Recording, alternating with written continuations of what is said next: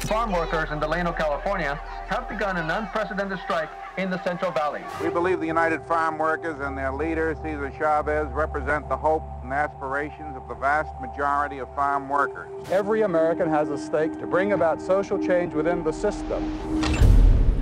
So who the hell is this Cesar Chavez? Yeah, I heard he's Mexican. Seems a safe bet. I'm angry that I live in a world where a man who picks your food can't feed his family. We don't need you. We want you back to Mexico. Get the hell out of our country. What do you think you're looking at, huh?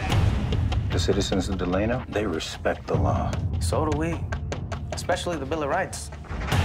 Have you seen the headlines they're getting? That's costing us real money, Mr. Bogdanovich. We don't have to negotiate. We have to dictate terms.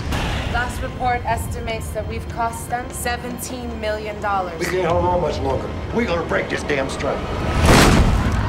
We have no laws to protect us here. What if something happened to us? With the boycott, there are no laws to stop us.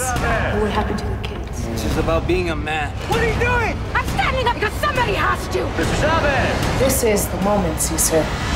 This is what we came here to do.